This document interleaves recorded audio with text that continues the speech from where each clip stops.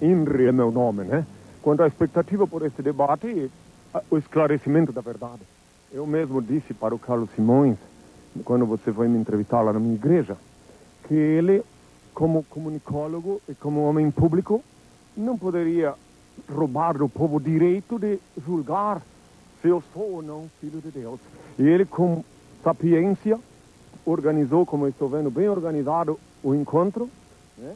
inclusive teve o, cuidado de convocar até os policiais para manter a ordem, né?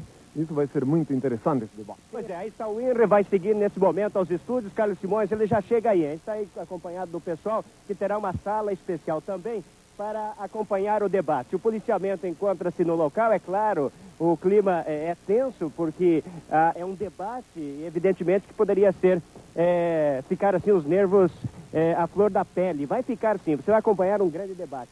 Está aqui o Major Alcemir, que acompanha o, esse trabalho e a segurança. É um debate democrático, é um debate ao vivo e as reações a gente não sabe do telespectador e a segurança aqui é independente do lado A ou do lado B, é uma segurança pública para manutenção da ordem e prevenção de qualquer situação que possa acontecer. Pois é, ficamos aqui no pátio da TV Independência em Curitiba, aguardando a chegada do pastor. Daqui a, a alguns momentos chega então o pastor Takayama, que desafiou o Henrique Cristo e vai tentar provar neste debate que ele é, não é o próprio Jesus Cristo, como diz. Então, daqui a instantes, Carlos Simões, a chegada do pastor Takayama. Então pode rodar lá de e de casa Takayama. Roda lá. Pois é, Carlos Simões, e nesse momento chega aqui aos estúdios da TV Independência, Canal 7 Curitiba, o pastor Takayama. E a expectativa para esse debate, pastor? Olha, Cândido, eu estou naquela condição, é, eu me lembro quando era menino, e muitas vezes a pessoa queria provocar uma encrenca e chegava, botava a mão na frente, só quem for homem gosta aqui. Eu estou nessa condição, eu não vim polemizar, eu apenas manifestei a minha opinião sobre a questão e vim aqui até um dia para cumprimentar o homem aqui, ver se realmente ele tinha o sentimento de Cristo dentro dele.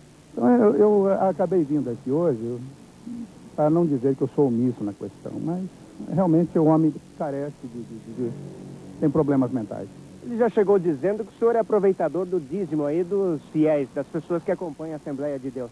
Pois é, primeiro, outra coisa clara que eu quero deixar aqui é que eu não venho em nome da Assembleia de Deus. Eu sou um membro da Assembleia de Deus e então, gostaria de trazer exatamente alguns esclarecimentos sobre a questão. Mas eu quero ser bem claro aqui que não vim aqui em nome da Igreja Assembleia de Deus. Sou um evangélico e, como todo evangélico, nós temos a nossa posição clara a respeito de um indivíduo como o Yuri. Bom, vocês acompanharam há poucos instantes aqui na chegada do INRI justamente o que eu falei aqui para o pastor Takayama, o posicionamento do INRI Cristo. É que nós vamos aguardar e a expectativa é muito grande para esse debate que já começa aí pela TV Independência para todo o estado do Paraná. Pastor Takayama pode acompanhar? Aí está o capitão Xavier, está também o major Alcemir que acompanha o pastor Takayama, que está chegando aos estúdios da TV Independência. Bom, Carlos Simões, está aí então tudo pronto, pode começar o debate e você quem vai ganhar. Você, telespectador, você que acompanha o programa do Carlos Simões, vai ganhar com isso. O Takayama, um homem de muita cultura, uma pessoa esclarecida, ex-vereador em Curitiba, e o Henri Cristo tem um posicionamento até certo ponto polêmico. Mas quem vai decidir, na verdade, é você. Nesse momento, Rádio Independência. Alô, Mário Celso, um grande abraço. Alô, Mário Celso, um grande abraço, né? Oh, eu, eu, trabalho aqui agora, né? Muito bem. Então agora, vou chamar para o cumprimento oficial aqui no programa Carlos Simões, o pastor Idecaso Takayama. Um minuto. Takayama, boa tarde. Boa tarde, Carlos Simões. Boa tarde, telespectadores. Nós estamos aqui para conversar um pouco a respeito dessa questão de suma importância para os cristãos. Eu não vim aqui para criar polêmicas, não, apenas me pediram o manifestar da minha opinião. E eu, como cristão, como evangélico, eu tenho a minha opinião sobre o assunto. E sei claramente pela Bíblia que o, o senhor Yuri eh, não é o Cristo e eu tenho as minhas convicções. Ele, eu quis até pro, produzir um diálogo numa, na semana passada, porque ele esteve, encontrou-se comigo aqui na entrada, e ele já vem me agredindo com palavras e o seu pessoal. Eu, tanto é que nem trouxe comitiva, viu, cara? Eu vim sozinho e ele traz toda a sua comitiva já para tentar, através de, de, de, do xingar e de, do agredir em palavras, tentar pressionar as pessoas. É lamentável. Eu tinha até uma outra postura a respeito dele, vinha até no coração bom para cumprimentá-lo, ouvir dele qualquer coisa. Eu não tenho nada contra a pessoa dele, mas ele já chegou, foi me agredindo em palavras, me dizendo que eu sou vigarista, que eu sou picareta, ele nem me conhece. Muito bem, agora eu quero receber agora o Henri cumprimenta todo o estado do Paraná. Henri, boa tarde. Que a paz seja com todos. Eu quero deixar bem claro uma coisa acerca do que acabou de falar o Intiquim, que eu não tenho nada a ver com ele por esse evento. Então ele veio depois de me caluniar em público, depois dele dizer, violando o que está no Evangelho, que eu deveria ser inter, internado numa casa de saúde, ele, eu disse quando me chamar Jesus, não julgueis para não ser julgados, eu disse, porque da mesma forma com que julgardes também seres julgados. Ele, o que aí está presente, que na verdade é um bacatarena, a linguagem dele, do, do, do, a comunidade nipônica, que é um povo, o povo japonês é um povo trabalhador e honesto, mas toda família tem uma ovelha negra. E esta é a ovelha negra da raça nipônica que rouba 10% do salário do povo. Ele se diz pastor, sendo que eu não deixei nenhum pastor, quando eu me chamava Jesus, eu disse que eu sou o único pastor. Eu disse está em Mateus 24, versículo 24, que antes de mim viriam muitos falsos profetas, falsos cristos, que impostores que se autonomeariam pastores. Ele veio usando o meu nome antigo para chantagear 10% do salário do meu povo. Eu queria só complementar falando nisso. Ele alega que é evangélico. O evangélico não nega o evangelho. E no evangelho está bem claro, em Mateus 10, versículo 8, que eu disse quando me chamava Jesus, ide, curai os enfermos, ressuscitai os mortos, limpai os leprosos, expeli os demônios, dai de graça o que de graça recebeste, eu disse. Portanto, desde que eu disse, está em Mateus 10, versículo 8, dai de graça o que de graça recebeste, qualquer um que rouba 10% do salário do povo, um salário miserável, tira 10% e para poder manter essa gravatinha toda enfeitadinha, esse sapatinho brilhando que ele anda, se dizendo servo de Deus, é um velhaco, como se diz na linguagem oh. japonesa, um intiquim. Muito bem. O Irne, agora você me diz, diz para o povo do Paraná, por que, que você é o Jesus Cristo? Como é que se prova isso? Quando eu me chamava Jesus, eu já provei, quando eu fui crucificado, naquele tempo cobravam de mim que eu provasse que era o Filho de Deus. Daí eu fui crucificado, eu não sou só Jesus.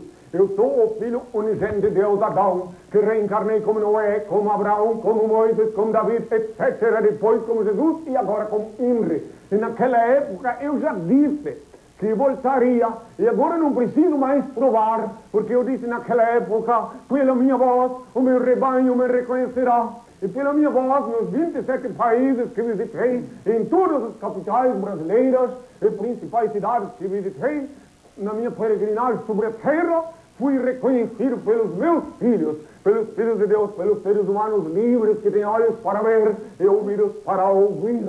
Eu não preciso provar neste século que eu sou Cristo, porque minha voz prova, a minha presença prova, a minha gratuidade prova. Eu sou o único Prestai bem atenção, quando esse velhaco vem aqui falar em mim aqui, ele cobra 10% do salário do povo, eu sou o único gratuito. Na minha igreja, no Alto do Buqueirão, é a única casa de Deus verdadeira onde pode vir sem dinheiro, onde eu caso, batizo, faço tudo de graça. Enquanto que esse velhaco rouba 10% do salário do povo. Ele usa um pedaço de Bíblia aí para dizer que eu não sou Cristo. Falta sete livros na Bíblia dele. Tomou toda a Bíblia de todos os falsos profetas. Ir, tá bom. Nós já continuamos. Takayama, o que você acha dessa opinião, essa colocação, ele afirmando que é Jesus Cristo?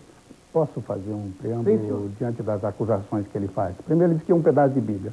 Eu vou mostrar para ele, porque por esse pedaço de Bíblia dá para, só com esse pedacinho de Bíblia, dá para mostrar que ele é um falsário impostor. Ele me chamou de bacataré em japonês, significa bobo.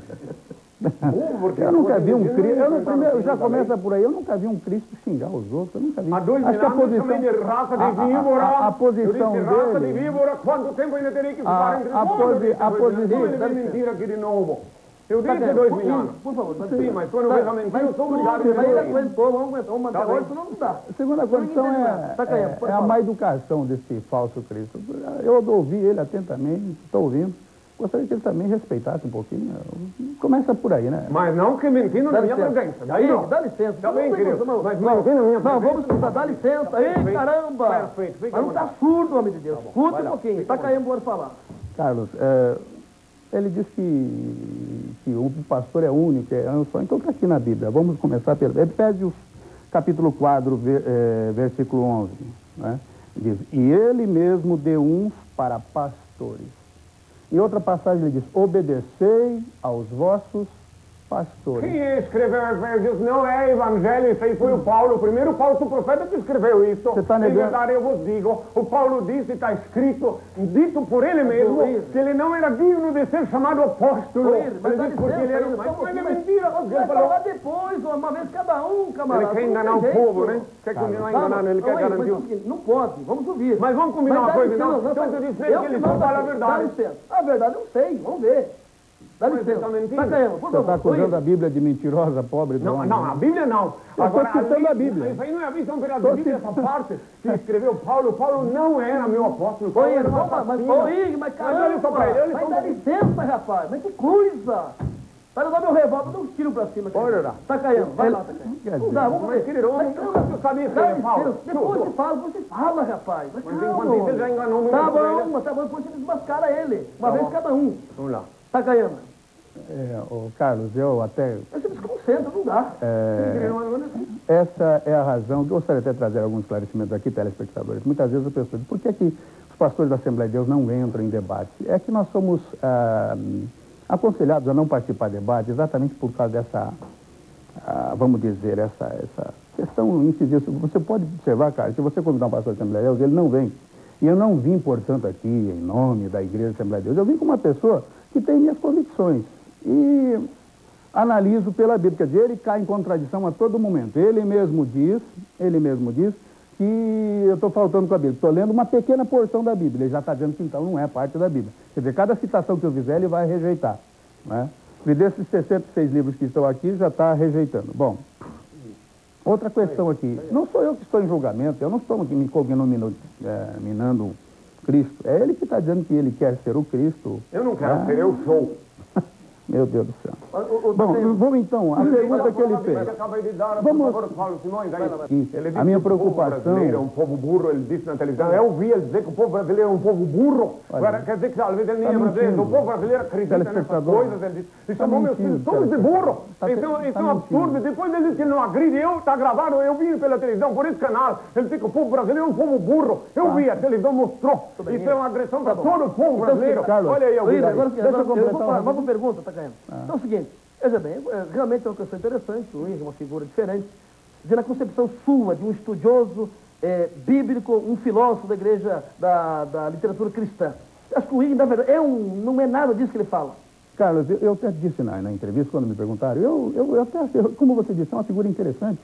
Eu não, não discordo disso, não. É, é polêmica, é uma figura interessante. Eu não, vi, não tinha nem tenho nenhum rancor contra ele, a pessoa dele. É uma pessoa que. Agora, a minha preocupação é que ele também precisa de salvação, é um ser humano. Olha, olha, Então, olha o que- a minha preocupação é o seguinte: eu não tenho nenhum. Mas A minha posição contra ele, eu disse. eh, Eu, eu, a- existem Ele dois com tipos de pessoas. emprego. As duas- com pele de olha, eu- eu é a sua vez, pô, vai falar três minutos, quatro minutos. eu, Mas ele eu já fala- esqueci todas as, as mentiras que ele pregou aí. aí depois do agora eu já esqueci. Ô, tudo que ele Takayama, mentiu. então seguinte, você acha que o Igor tem que ser internado no hospício? Deixa eu só completar, cara. Precisa assim. O, Então, aí, eu, aí está, olha aí, depois de abrir, eu fui examinado por uma equipe de psiquiatras em Belém do Pará, por ordem do Dr. Jaime dos Santos Rocha, juiz de direito de Belém do Pará, os, os psiquiatras se tornaram meus apóstolos. Agora, esse intiquinho aqui, que nunca esteve comigo, vem me julgar em público. Eu, eu tenho amigos psiquiatras em dois continentes. Tudo bem. Eu visitei Então, 27 Igor, países, então é seguinte, já que você está falando, só pergunta. O que você acha todos os pastores? Pois é, então agora E aí desse está. do- Primeiro eu preciso mostrar para ti, já que ele citou a Bíblia, aqui está.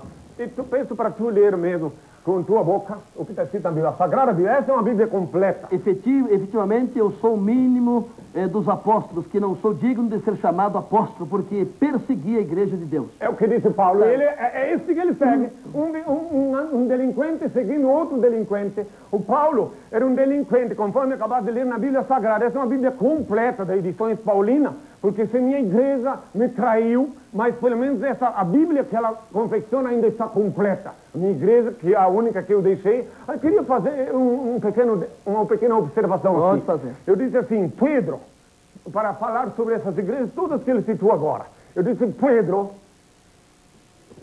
Tu és Pedro, e sobre esta pedra eu edificarei a minha igreja. Eu disse, no singular.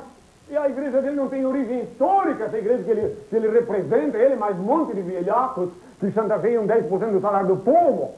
Ela não tem origem histórica. A minha igreja, a única que eu deixei foi romana, quando eu disse, está escrito na Bíblia, Pedro, tu és Pedro, e sobre esta pedra eu edificarei a minha igreja, no singular. E não disse não deixei nenhuma outra igreja, e não deixei nenhum pastor, como ele vem se apresentando como pastor. Quem falou em pastor foi o primeiro falso profeta, o Paulo. Que foi o perseguidor dos cristãos. Minha. Mas então é o seguinte, então, mas veja uma, coisa, uma questão. Se Deus deu ao cérebro ao homem, ele, um homem não pode multiplicar a igreja em maneiras de agir, de pensar? Não sem violar o evangelho. Porque quando eu me chamava Jesus, eu disse, já deixei tudo prevenido. Eu disse assim, eu sou a luz do mundo, a verdade é a vida. Eu sou o caminho. Ninguém vem ao meu Pai senão por mim. Eu disse, desde que eu disse essas palavras, ninguém pode usar no meu nome antigo fundar novas igrejas. Para mim, fundar a minha igreja, a SOST, a Suprema Ordem Católica da Santíssima Trindade, cuja sede provisória é em Alto do Boqueirão, aqui em Curitiba, eu tive que praticar um ato revolucionário. A minha igreja tem um, um registro histórico. No dia 28 de fevereiro de 82, eu tive que romper os laços que me uniam à minha antiga igreja romana. Entrei na catedral com 10 mil pessoas dentro e fora da catedral, uma convocação feita pela televisão TV Guajará de Belém, no Pará. Depois de um encontro como esse assim, marquei um encontro com 10 mil pessoas testemunhando. Fui lá, quebrei o bonequinho que eles dizem ser eu, na frente do povo que gritava Cristo, Cristo, Cristo, e saí de lá detido, porque o Vaticano mandou me prender e sair da prisão sem depender de advogado, porque ficou provado perante Belém do Pará e perante o povo do Pará, que de novo ele vai dizer que é um povo burro, como ele disse o, o povo paranense é burro, mas na verdade o povo brasileiro é um povo que tem sentimento. Burros são aqueles que acreditam nele, Tá bem, tá bom. dão 10% do salário para ele. Esses sim são burros, Tá bom, porque tá dão bom, tá 10% bom. do seu salário para ele. Takayama, rapidamente. Eu gostaria só de deixar Isso, claro aqui o seguinte: é, vocês percebam que quem deveria estar em julgamento era ele, não eu. Mas eu vim aqui para esclarecer a questão do dízimo, já que ele faz tantas acusações. Quer dizer, se fosse o Cristo, até entenderia. Primeiro, eu não recebo salário de igreja, Carlito. Eu ajudo, eu dirijo até uma igreja, a igreja do Bacaxeri, E não mas não 10% do povo? recebo. Não, não, porque a- o pastor ele não põe a mão em dinheiro. É, eu quero que vocês saibam, eu quero que os telespectadores saibam, a Igreja Assembleia de Deus, Batista e outras igrejas, Cruzada, todas essas denominações, nós temos aquilo que chamamos uma tesouraria, temos uma comissão de contas, anualmente ou a cada ano, dependendo da estatuto de cada igreja, existe a comissão de contas, a comissão fiscal, são pessoas escolhidas entre os membros, as pessoas que ah, nós temos, por exemplo, na nossa igreja a comissão fiscal, um é jurista, né, doutor, doutor Para quem vai os Benedito. 10%, para quem vai não, se não rouba 10%. Eu não recebo salário. Ah, não, Quero e que dizer aos o 10%? telespectadores que eu não recebo. Ah, Está aí. Eu desafio, eu desafio qualquer pessoa aqui, está aberto. Tudo bem, então o seguinte, agora é o seguinte. Desafio Eu quero qualquer que pessoa. prova tudo e qualquer Tá bom, é o seguinte, não, peraí. Agora é o seguinte, do que vivem, o que fazem, o que comem, e o que fizeram antes dele ser pastor e antes dele ser o INRI, após o intervalo.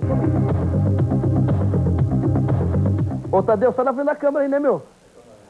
Olha, chegou correndo do estúdio, cadê o Capitão Xavier? Fugiu daqui, homem de Deus! Takayama, o que, que você fazia antes de ser pastor? Como se vive hoje? De onde você ganha o seu salário para sobreviver? Pois não, Carlos, ah, como ele ofendeu, não a mim, mas a igreja, dizendo que a igreja é um, tem um bando de ladrões que rouba o dízimo, eu quero dizer que a igreja, a nossa igreja, nenhuma, nenhum membro, nem da Igreja Assembleia de Deus, Batista, Quadrangular ou qualquer outra denominação ela, ela obriga a dar o dízimo. Dízimo é um ato de fé. O dízimo no Velho Testamento era uma lei, no Novo Testamento passou a ser um ato de fé. Eu- a grande parte dos nossos 30 e poucos pastores que temos ganha em torno de acho que um- 1,6 a 3 pontos, que eu acho pouco. Acho que cada pastor deveria Depois ter uma maneira de ganhar. Ele não tem salário, dois, um, dois, dois salários mínimo e meio, três. Eu conheço pessoas que são médicas, abandonaram tudo e hoje vivem dessa pequena ajuda. Claro que tem família, tem esposa, tem crianças. Eu, por exemplo, no meu caso, eu não recebo, Carlos, porque realmente eu tenho alguma condição. Ah, eu venho de uma família até com certos recursos. Eh, meu pai faleceu há pouco tempo, recebi heranças da parte dele. Tenho também. Foi vereador? Fui vereador e você sabe perfeitamente isso. Aliás, eu fui vereador exatamente para tentar ver se podia auxiliar nessa função pública as obras sociais da igreja. Então, esse negócio de dizer que roubo disso é é uma ladainha para ver se tumultua a situação Não, então eu vou desse explicar indivíduo. Deixa eu falar, Yuri. Deixa eu falar, Yuri. Não seja mal educado. Mais um minutinho, mais um minuto. Pelo menos Mas seja... eu vou falar, Tem um então. pouco, um pouco de educação quando a gente... Eu deixei educação você é falar. que tem que ter e não mentir pro povo. Então a falta de Então, educação é mentir pro mas povo. a mentira se prova. A mentira Eu se vou prova provar fácil. agora a mentira. Eu deixo aberto aqui para o telespectador e consultar. Nós temos comissão de contas, pessoas que fazem parte Eu vou provar a mentira da ilegitimidade dessa chantagem. O doutor Luciano, Benedito Luciano, homens a de pessoa, integridade, advogados, doutores, contadores Oh. que fazem parte da comissão, porque nenhum pastor põe a mão no dinheiro. Tá ganhando. vai para a tesouraria e TV é aplicado nas obras sociais da igreja. Takayama, você é exorcista? Carlos, nós cremos no poder da oração, mas é, a palavra exorcista está muito vinculada a macumbeiro, feiticeiro, não tem nada disso. Eu creio no poder da oração e se a pessoa usa a palavra de Deus, então pela palavra ele pode fazer isso. Você não podia, você Agora, teria coragem para isso? de exorcizar o Existem duas, duas coisas claras nessa situação, clara, a, a- a- Carlos. A pessoa pode ser exorcizada desde que ele seja preso. No caso do, do, do- Olha do- é incrível, no caso do Yuri, que ele eu não tem que interesse nenhum. Ele não tem interesse nenhum. Então gostaria de ser claro em outra coisa. Quer dizer que um demônio que tem Você me- interesse em sair do corpo. Você me Ei, fez uma é pergunta, telespectador. Posso não falar Meu agora? Deus do céu, o homem é um... Posso não falar? O homem tem... Não, só, só, só, minutinho. Takayama, você teria coragem de exorcizar o ímpio, não? Carlos, Teria poder para isso, Carlos, não? olha, não há nem ambiente aqui. Eu vou ser franco. Olha não há nem ambiente. A situação do homem aqui é complicada. Olha só. Ele é violento. Eu pensei se Posso eu, não eu, falar, Carlos? eu, Só um minutinho. eu pensei quando vi a primeira vez aqui, no dia que você não estava, Carlos, eu pensei que eu queria conversar com ele senti-lo. Porque É. a gente tem. Depois de ter o qualificado amor, Ah. A gente não quer que nenhuma alma se perca. Exatamente. E Olha o bem confesso a É o vocês, de telespectador, que nós somos seres humanos, somos, temos falhas. Então, nessa questão, eu vim aqui pensando, na, na outra vez, né, e voltei hoje por essa razão, que eu pensei, esse homem pode sair, foi o que eu declarei para o Cândido, né, quando ele perguntou a minha opinião. Então, eu disse, olha, eu- há duas maneiras de analisar a- o Yuri. Eu- É digno de pena por duas razões. Primeiro, se ele está fazendo isso inconscientemente, né, ele pensa que é o Cristo, existem casos de demência, loucura, é, É o caso? Que não é o caso dele, porque ele é vigarista e não louco. Ele é um vigarista. Você nem me conhece. Ele é um vigarista, a gente tá... Você eu, vou mostrar, eu vou dar a prova do delito. Ele viola. Não, o Igor, artigo pode falar agora, vai lá. 171 do Código Penal Brasileiro. Tu, inclusive, como advogado, vou te mostrar para ti, para tu falar para os teus colegas, como enquadrar velhacos como esse e botar na cadeia. Muito bem. É sério, muito sério. Preste atenção. O artigo 171 do Código Penal Brasileiro avisa a polícia que me ouve os delegados de polícia se previna. Alô, Prestai capitão atenção, doutor da lei. Quando eu me chamava Jesus, eu disse, eu repito de novo, dai de graça o que de graça recebeste, está em Mateus 10, versículo 8. Portanto, a partir desta data, qualquer velhaco, qualquer um que cobrar 10% do salário miserável do povo, usando o meu nome, é estelionatário. Está violando o artigo 171 do Código Penal Brasileiro, além de estar violando o que está escrito em Mateus 10, versículo Não 8. tem Agora, vamos explicar o que é um salário mínimo, meus filhos. Se eu tenho filhos que frequentam a casa do Senhor lá no, Alto do Boqueirão, que ganham um salário mínimo, então eles me contam o que um salário mínimo. E ter que tirar 10% antes de pagar o gás. Depois é fácil vir na televisão como esse velhaco e dizer, não, o dinheirinho vai lá para as obras de caridade que nunca aparecem. Preste atenção. Então 10% do salário antes de tirar o gás, a luz.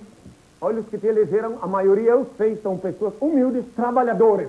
Então tem que tirar 10% para dar para um velhaco como este. E os outros velhacos que estão nas outras igrejas, podem ver que ele teve o cuidado de cuidar, de proteger até os outros vigaristas das outras igrejas, que também chantageiam 10% do salário do povo. Ele não só se cuidou em defender o salário que ele rouba deles, desse povo. Outra coisa, na Bíblia está escrito que quando eu me chamava Jesus, eu disse assim, digno é o obreiro de seu salário.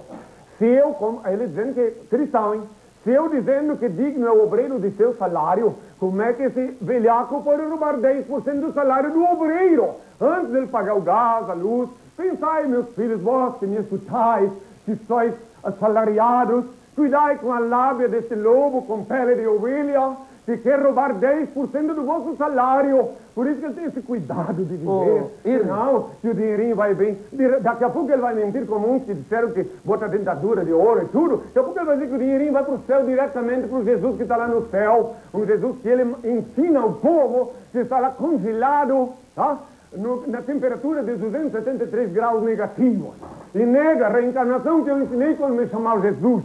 Tudo isso ele nega para enganar o povo. Pois quando me chamava Jesus, eu disse que João Batista era o Elias reencarnado. Só, só uma pergunta minha Ca- você Carlito. não, não, não, não, tem medo de, de nada na rua? Você sai, você vem, você vai. Você não, não liga as pessoas correndo de você, tiram o saco de você. Ó o louco, ó o louco, ó Eu o maluco. sou o unigênito de Deus. Eu voltei a este mundo conforme prometi para julgar a humanidade e instituir na terra o reino de meu Pai, formalizado pelas sois. Eu não tenho medo de nada, eu não posso ter medo, porque eu não tenho livre-arbítrio. Em Você, 27 você faz, países, faz milagres, faz, faz milagres. o meu pai, o meu pai, meu Senhor e meu Deus faz as obras. Ele, com as minhas mãos, faz os milagres. Eu nunca fiz, nem quando me chama Jesus, ele faz. E o Cândido, que é teu repórter, esteve lá na igreja, interrogou pessoas, pode perguntar para ele o que, que as pessoas que estiveram sendo interrogadas por ele, que infelizmente não foi pro ar, o que, que elas disseram. E são pessoas humildes, simples, que não é, não é coisa, não é como se fosse alguém que teria alguma, eh, algum interesse oculto. Tô bem. São Ô, pessoas que de veras tiveram a, a bênção Tá, do tá. Senhor. Ih, tá bom, tá bom. Agora veja bem a coisa. Em Lucas capítulo 17, versículo 25 a 35, leiam, meus filhos. Lucas 17, versículo 25 a 35, está escrito que antes do dia de glória do Filho de Deus, eu, eu que sou o Filho de Deus, teria que padecer muito e ser reprovado por minha geração. Claro, porque viriam os falsos profetas, encabrestariam minhas ovelhas, conforme está escrito em Mateus 24, versículo 24. E continuando em Lucas 17, versículo 25 a 35, está escrito assim. Assim como nos tempos de Noé, assim será o dia do Filho do Homem. Comiam, bebiam, davam-se em casamento, casavam-se, até o dia em que Noé entrou na arca, veio o dilúvio e consumiu a todos. Assim será no dia que o Filho do Homem se manifestar. eu disse. Está lá escrito em Lucas 17, versículo 25 a 35. Que eu vinha em glória, mas que primeiro, tá assim, mas primeiro é necessário que ele padeça muito e seja rejeitado por tua geração. E aqueles que têm olhos para ver, vê. E aqueles que têm ouvidos para ouvir, ouve e me reconhecem pela minha voz. E quem quiser, então, me encontra no sábado, às dez e meia da manhã, no próximo sábado, ali na Rua das Flores, onde podem me ver, ouvir, viu, Carlos? Pena, é que tenham todos a minha paz. Um abraço, Mário Celso, um abraço, Rádio Independência, um abraço todo o estado do Paraná.